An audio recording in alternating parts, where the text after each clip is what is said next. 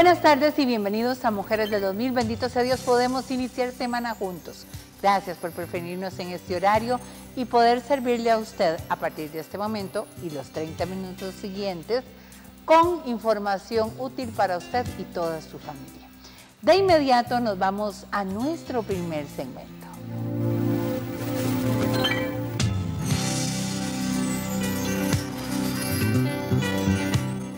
¿Cómo están amigas? Bienvenidas a su programa Mujeres del 2000. El día de hoy vamos a continuar con lo que fue, lo que sería, perdón, la confección de este bello almohadoncito que estamos preparando ya como para los regalitos del Día de la Madre, para trabajar con tiempito y que no nos vaya agarrando muy tarde. Recuerdan que les dije que vamos a utilizar la técnica de fond cocido y relleno.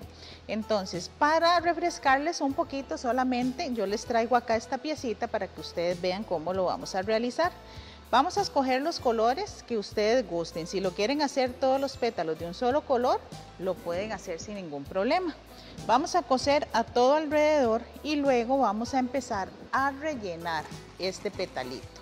No lo vamos a rellenar que nos quede muy muy apretadito porque eh, no queremos que el relleno se nos vaya a salir por las costuritas, ¿verdad? Sino que lo vamos a hacer un rellenito este, que nos quede bien, bien eh, gordito, pero no exageradamente apretadito, porque también yo necesito hacer este movimiento para continuar cosiendo esta parte que tenemos acá. Vamos a coser con hilo y aguja normal y lo que vamos a realizar es la puntadita de ojal. Recuerdan esta puntadita que usábamos hace tiempo para hacer proyectos es la puntadita que vamos a utilizar en este proyectito. Vean qué fácil, yo coso, no jalo muy duro porque si no se me puede reventar el fondo. Entonces nada más hacemos una presión ahí que nosotros sintamos que nos está este, eh, agarrando bien el foam, pero sin hacerlo muy duro para que no se nos vaya a reventar. Y terminamos por acá. Así vamos a coser todos los pétalos que van a llevar esta, este almohadoncito que estamos haciendo, ¿lo ven? Ya yo traigo por acá los otros petalitos adelantados para que ustedes puedan ver más o menos lo que sería esta, este almohadoncito. Vamos a ir pegando todos los petalitos uno contra otro. Si lo hacen de colores, ustedes escogen los colores que a ustedes les gusten. Y lo vamos a ir pegando acá. Este como es el último que me quedaba, entonces lo voy a venir a pegar acá. Yo lo estoy pegando en este caso con el cemento que hemos utilizado, el de doble contacto, para que me sea más rápido y me quede bien, bien pegadito. Pero también lo podemos pegar con silicón. Le vamos a tener un poquito más de paciencia, pero con el silicón también nos va a funcionar muy bien. ¿Lo ven? Así tendríamos listo aquí ya lo que serían todos los pétalos de la florcita. Ahora, voy a traer la carita, que es esta que tenemos acá, la que estuvimos trabajando en la sección anterior y la voy a colocar acá. Cuando ya yo veo dónde la voy a colocar, yo traigo mi pistola y voy a poner un poquito de silicón. Vamos a ver si la puedo correr. Por acá. Y vamos a pegar la carita. Permítame nada más, voy a traer una barrita de silicón porque la pistolita se nos quedó sin silicón. Acomodar de nuevo el almohadoncito. Acá para que ustedes lo puedan ver entonces les decía que vamos a colocar el silicón en tres puntos para que se nos pegue esta preciosa carita que nosotros tenemos por acá. La vamos a presionar un momentito porque como están rellenos verdad a veces él se nos quiere levantar. Entonces la sostenemos un momentito y ya cuando ella esté pegadita vamos a traer estos bodoquitos de lana que están hechos acá. Ellos no están cortados, están enteros, pero si ustedes gustan, le pueden pasar la tijerita por el medio y ya abren todos estos colochitos. Pero yo quería ponérselos así enteritos, entonces los traigo por acá y voy a empezar a pegar alrededor de lo que sería la carita de nuestro almohadoncito.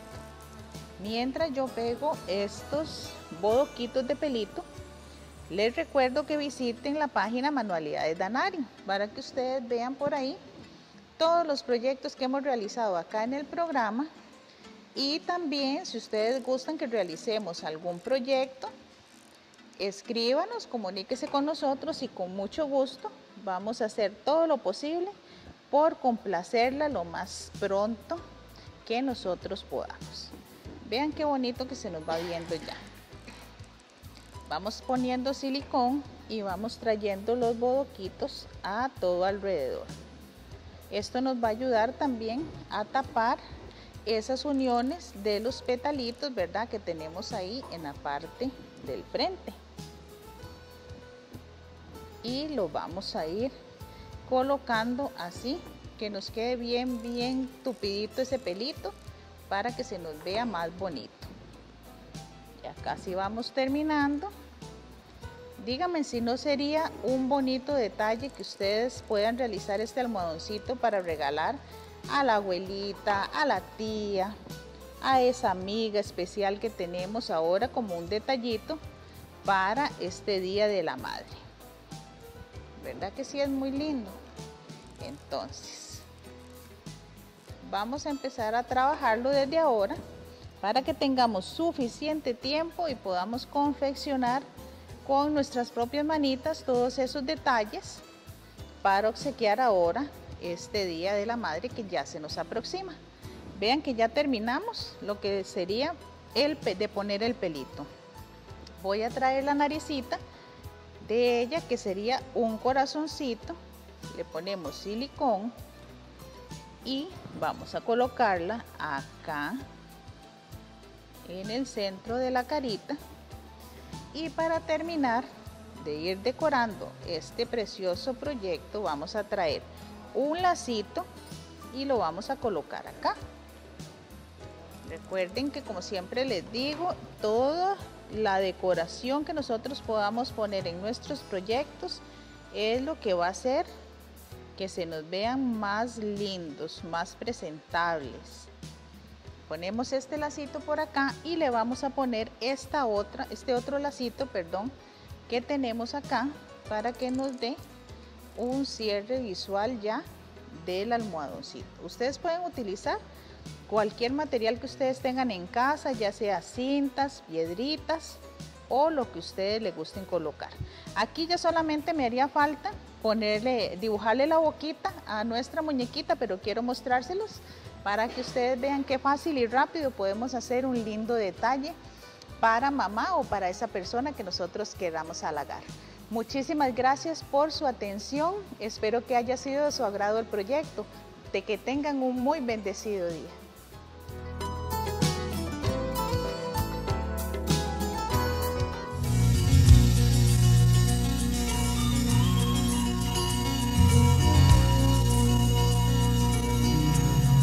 Bueno, recuerden nuestras redes sociales y en Facebook también, donde nos pueden hacer sus comentarios, sugerencias y por, por supuesto, todas sus opiniones son fundamentales para nosotros y así desarrollar el trabajo y tener una guía de lo que a usted le gusta, de lo que usted necesita, porque nosotros lo que más eh, nos place es complacerle a usted. Ahorita continuamos con más del programa.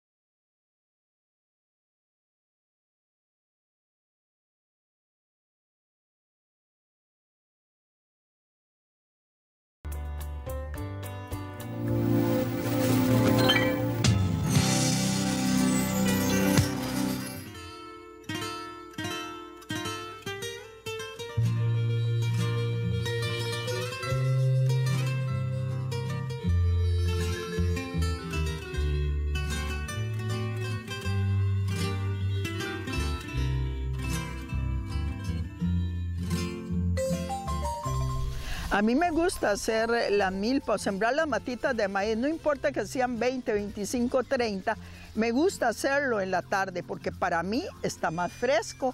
Así es que les voy a mostrar cómo yo lo pongo utilizando el abono que hacemos aquí en el terreno.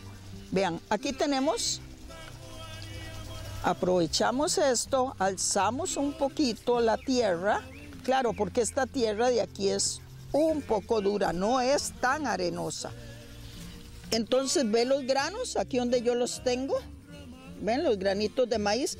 ¿Qué voy a hacer? Busco los mejores, tres granitos, los pongo con mucho cariño, recuerde que es, es huerta casera, le pongo el abono encima.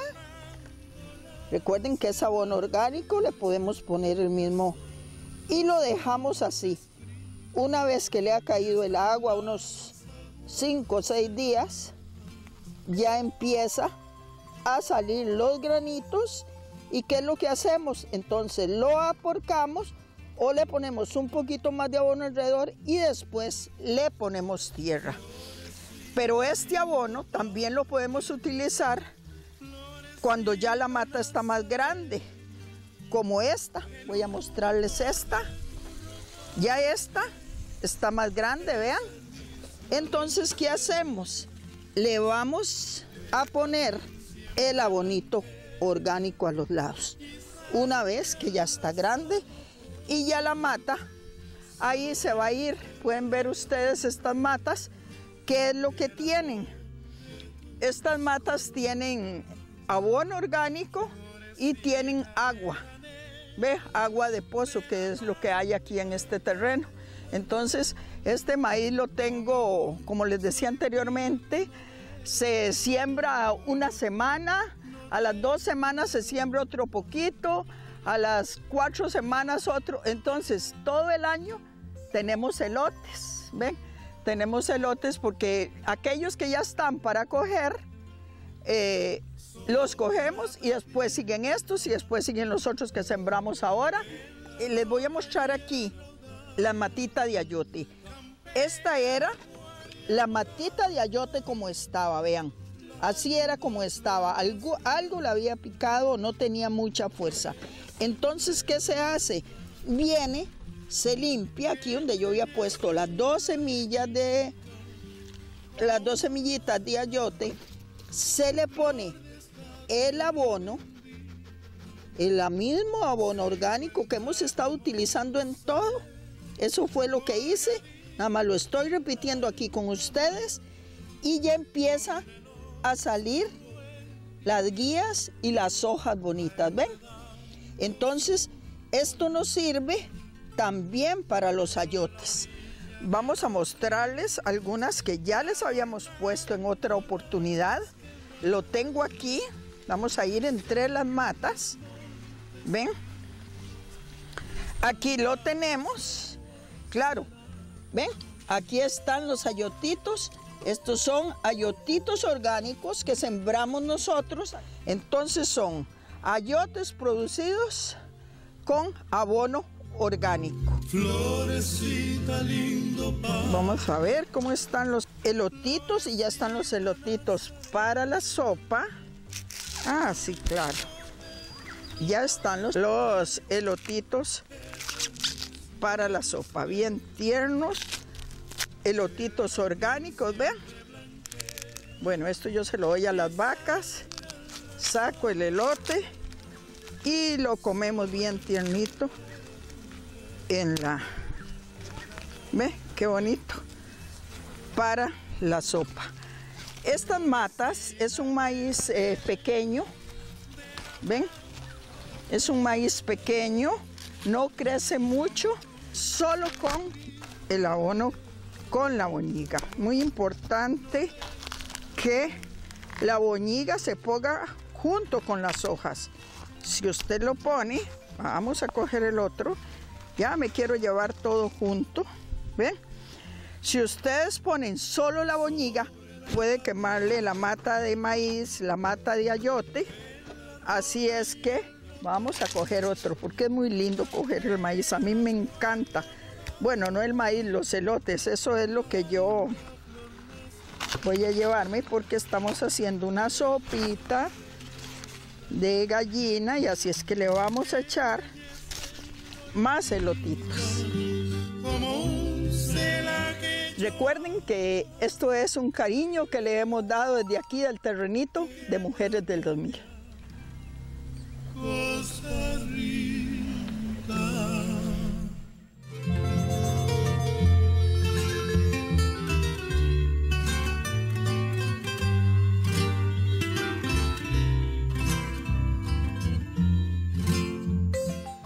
Ya hemos llegado al final de esos 30 minutos de Mujeres del 2000. Bueno, espero que se los haya aprovechado. Para mí fue un placer poderles servir en esta tarde de lunes. Para mañana a las 4 y 30 en punto vamos a estarle esperando acá para que nos deje ingresar en su hogar puntualmente con una nueva emisión de este programa. Que Dios me le continúe bendiciendo y nos vemos mañana.